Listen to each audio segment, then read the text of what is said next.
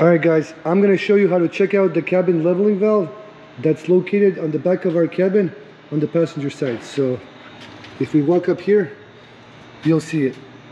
So the leveling valve is right there. And there's the leveling valve rod, which attaches to the back of our cabin.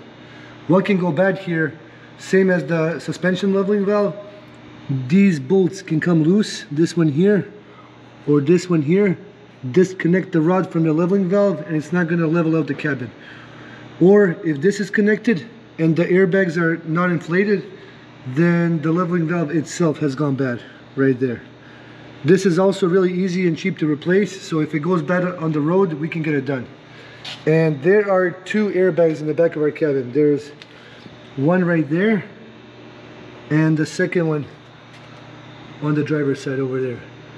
These airbags are a little bit different than the ones on the suspension because they have a shock going through them. So as you can see here, it attaches to the chassis with these mounts and then there's a shock going through this airbag to give it the smoothest ride possible. And basically, uh, if these airbags go bad, there could be an air leak. If it's minor, get the unit right back to our yard to get that replaced if it's a major air leak coming from them, then we'll have to get it done on the road. But we usually never have too many problems with them. And basically that's it.